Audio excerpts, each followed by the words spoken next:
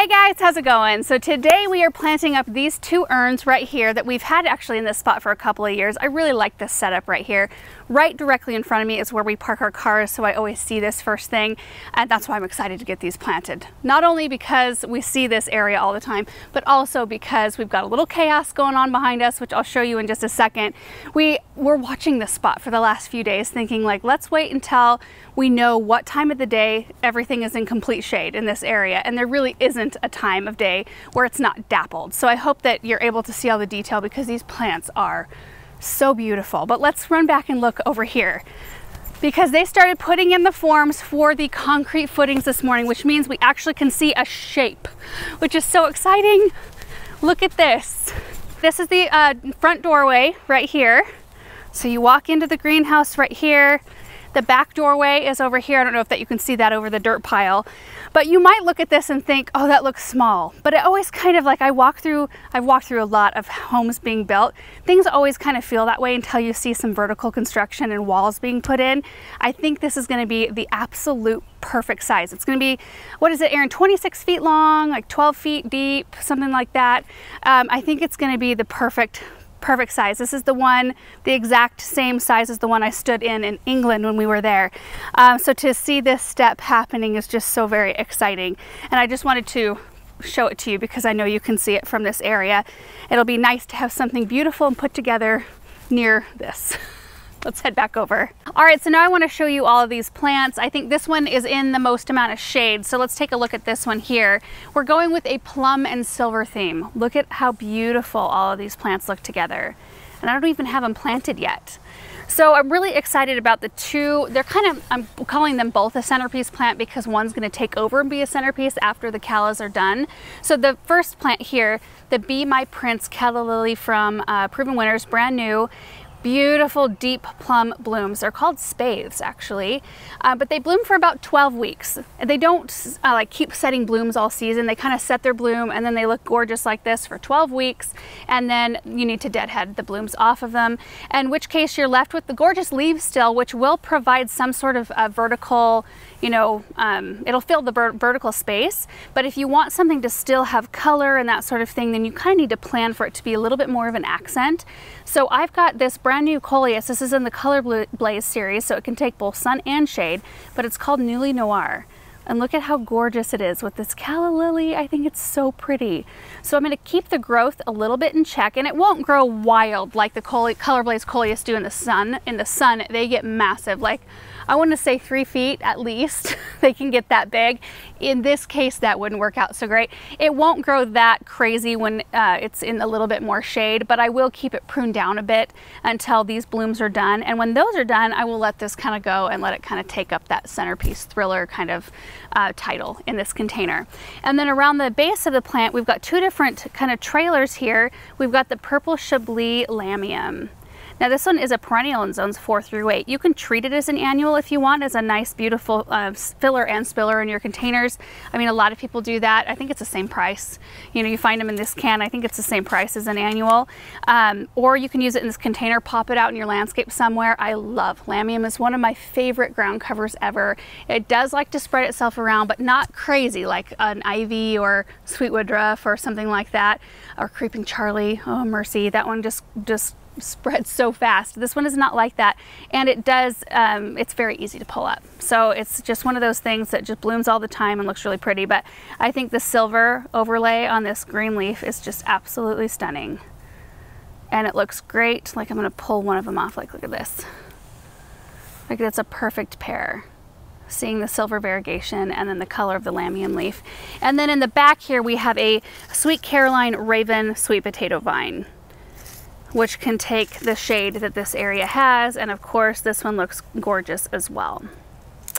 So, oh, the other thing about callas that I was going to mention is that they do like to be pot bound too. They tend to perform the best if they're kept um, kind of uh, bound up. I think in this situation, because our soil reservoir is so little, that they will uh, be happy. In other containers where there's a lot more soil reservoir, you can actually leave them in their container like in their plastic container and just sink them down in the pot so long as you make sure that, that they have access to the moisture in the pot as well. Like if you have a drip line going in the top of the pot, make sure it cruises by the soil of the, you know, calla lily so that it's getting water um, because it won't be able to soak it in from the sides, but it will help keep it pot bound. So do keep that in mind, that is an option. So I think what I'm gonna do is I wanna show you guys how I plant this up kind of in real time because we've had quite a lot of emails recently asking how in the world I'm able to pack so many plants into such a small reservoir.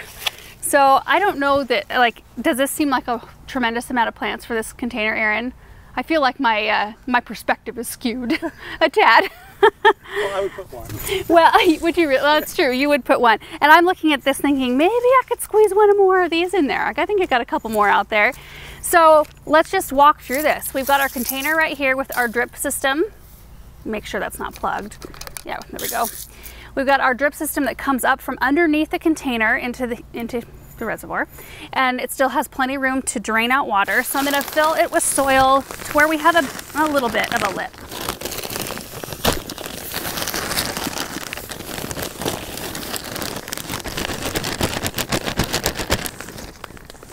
Okay, kind of want to keep in mind that the calla lily root balls are kind of big, so think that'll do right there. Little tiny bit of Flower-tone. Let's mix that in.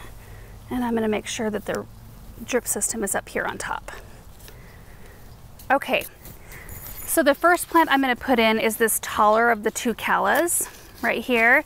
So first off, when you're planting a mixed container like this, oftentimes you can knock a whole bunch of soil off the root balls like this. You can make them quite a bit smaller. You can squish them a little bit if you need to.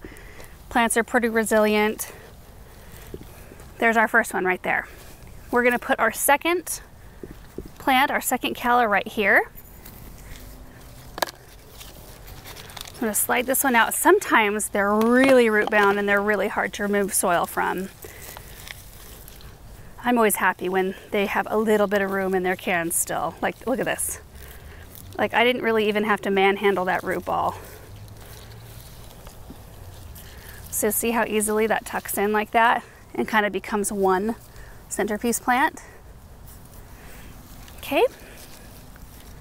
So then we've got our coleus next. That one, we can kind of break up the bottom here. See, I'll even pull off some roots. So it's left looking like this. I'm gonna shift this because I kind of forgot about the coleus to be honest. I'm gonna shift this back a bit. There we go. So I have room to tuck the coleus right in between the two right here.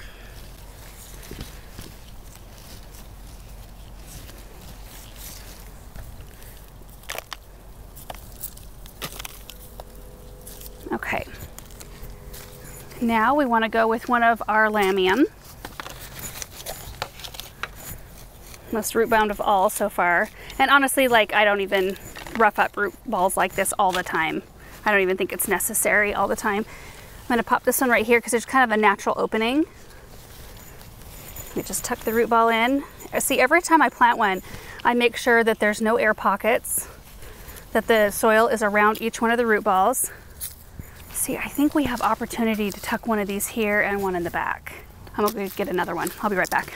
I actually grabbed this instead of one of the other sweet potato vines. This is a Plum Dandy Alternanthera.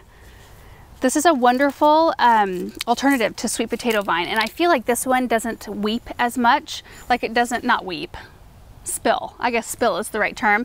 And I don't really want it to be spilling really far down into the grass. It doesn't matter if it spills into the back because, you know, we're not mowing and trimming back here, but I think that this might be a better choice um, up front. Plus it's got a lot of beautiful color, a little bit of hard water on the top because we've been overhead watering it. Um, it's kind of impossible to underwater, or, you know, like water under the foliage when it's in the plant can. Anyway, I'm gonna tuck that one right here. Break off some root ball. This is not quite a level container here. Look at that. Is that driving you nuts, Aaron?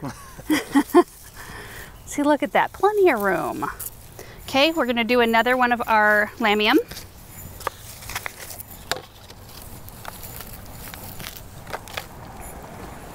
We'll fill in this little opening right back here.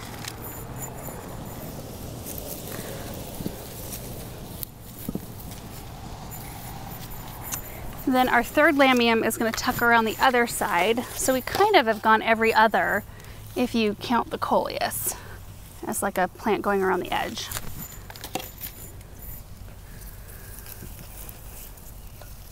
What's that? Okay, and then our sweet potato vine right back here in the back. Make a little space for it.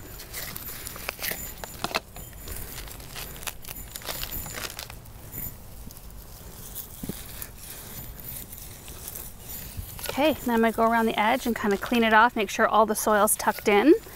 You wanna make sure that the lip on top of the soil, especially if you're watering with a hose, you wanna make sure your lip's at, least an inch. That way you have a, uh, you have available space to fill up water enough for this, the pot to soak in. If you've got your pot on a drip system, it's not quite as necessary because the water's coming out at such a slow rate that the soil is usually able to suck it down without it pooling on the top. But it just makes for a far cleaner container if you can make sure to tuck in all that excess soil around the edge. But I think all the root balls are completely covered. I think we're good, and that's how it's done. So three, four, five, six, seven, eight plants in this pot. Easy. So I got the second one planted. I think they're absolutely gorgeous. It's gonna be really interesting to watch these calla lilies because I've got each group of them that I have planted so far. They're in very different light situations. So the ones up in Versailles get sun until after 2 p.m., like from the very first part of the day. And it's still, even though it's morning sun, it's still really hot this time of year. I mean, we're at 100 degrees today, right? Mm -hmm. supposed to be 100? 97. 97 right now. Um, feels pretty decent in the shade. These will get the dappled sun kind of shadier all day long. And then the ones I have over near the chicken coop will get like kind of somewhere right in between. So it'll be really interesting. I actually feel like I have a little bit of a, of a gap here, Aaron. I could have fit one more calla in here, I think. I should have ordered six instead of five. I have one lone calla. I'm gonna pot, I think, in a, uh, its own container and put it on a tabletop somewhere, which I think will be equally as pretty. And that will be another good test to see how it does on its own. Um, anyway, I think that this is just a really beautiful blend. I think all the plants will be very happy happy here. Um, and we will give you update shots as the season progresses. And hopefully by the time we update you on these containers for the first time, well, I know one thing will happen. This bench is gonna get a paint job. You know, it's not until you get right up on it that I realize like, oh man, it's looking pretty rough.